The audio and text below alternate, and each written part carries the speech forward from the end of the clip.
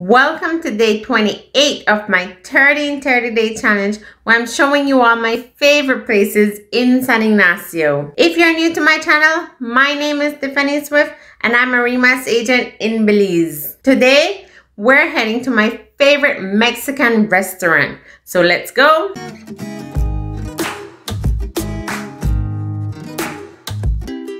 Welcome to Rolson's Restaurant.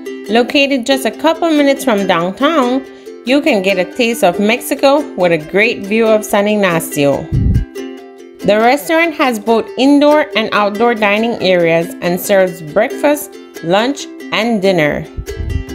There is also a hotel, a conference room, and a swimming pool with an area to relax. But back to the restaurant. They call themselves the home of margarita specials and offer over 10 different flavors. Also on the menu, carne asada tacos, which is my favorite. So next time you're in San Ignacio and looking for Mexican food, be sure to check them out. Well, that's it for day 28. Join me tomorrow for day 29 to see where is my next favorite spot in San Ignacio. Goodbye. Thank you.